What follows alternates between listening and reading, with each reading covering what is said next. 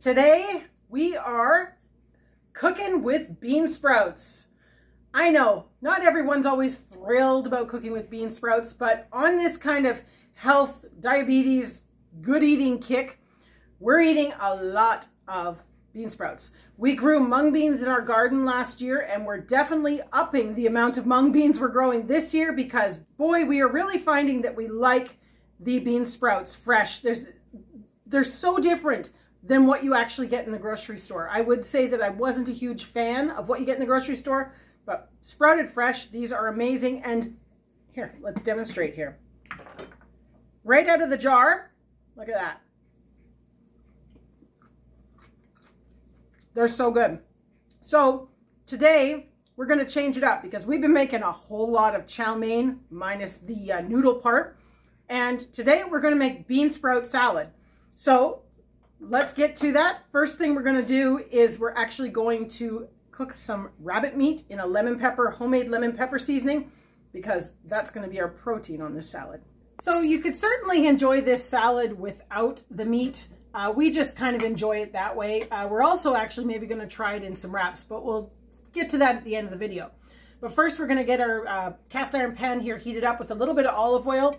Our rabbit meat is already cooked because that's how we like to do it. We usually slow roast our rabbits and then take all the meat off the bone and split it up into portion size. So that's what we have here and we're just going to put that in, heat it up, and then we're going to sprinkle this lemon pepper seasoning on top. It is so tasty and really, really brings something to the salad, especially if you're doing like a Caesar salad, lemon pepper on your meat. Mm, very good on a Caesar salad as well. So let's get this hot and get going. I'll be honest, this is probably more meat than we actually need in our salad, so we might save some for tomorrow. All right, so you can hear our meat kind of sizzling away. I want that to kind of crisp up a little bit on the edges because that's when it's really tasty. So while that is happening, we're gonna make our dressing. All right, so we're gonna start with a quarter teaspoon of ginger. You can use fresh and grated up. We just love these uh, pre-done pastes. They're super fantastic, and all they have is a little bit of oil in them. A half teaspoon of sesame oil, one tablespoon of soy sauce. Let's hope I can keep it steady. One tablespoon of olive oil, and one and a half tablespoons of rice vinegar. And basically that's it. It's super simple. Oh no, I forgot the honey. Haha, I forgot the honey. Oh, come on. Is it going to come?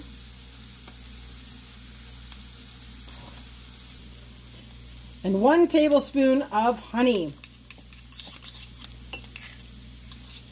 So that's everything in there. We're going to get it all mixed up. And then we're going to start chopping up all of the wonderful veggies for our salad. So our meat is just starting to get nice and kind of browned on the edges. So we're going to put in one tablespoon of our lemon pepper seasoning.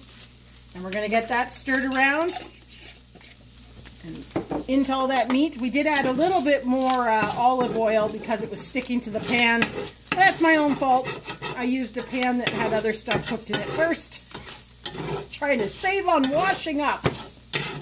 So the recipe calls for one carrot julienne style cut up. So I'm just kind of cutting some ones that we had left over from uh, snacks uh, earlier today into a little bit smaller kind of pieces. That's my version of julienne style for today.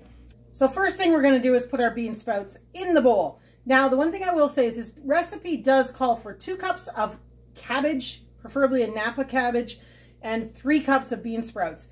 I don't have two cups of Napa cabbage, but I happen to have like four or five cups of bean sprouts. You can see our one quart jar is exploding. And this was only two tablespoons of mung beans in here to sprout this much. It's crazy. Watch as I start pulling these out. It'll fill like this bowl.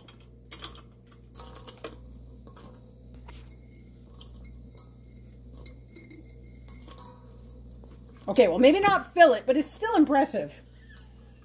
All right, so we've got our bean sprouts and our julienne style carrots.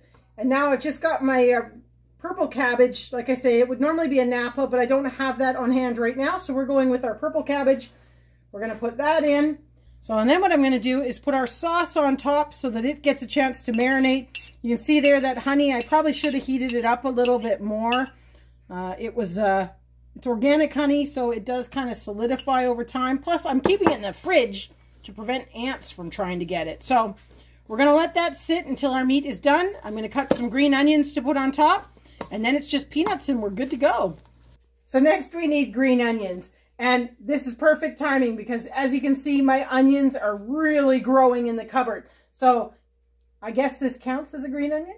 We're going to go with it anyway. So I'm going to chop these up. We're going to call that one green onion and put it in here. And then we'll uh, come back. Scissors are a great tool for this kind of thing. Next we need two tablespoons of crushed up peanuts.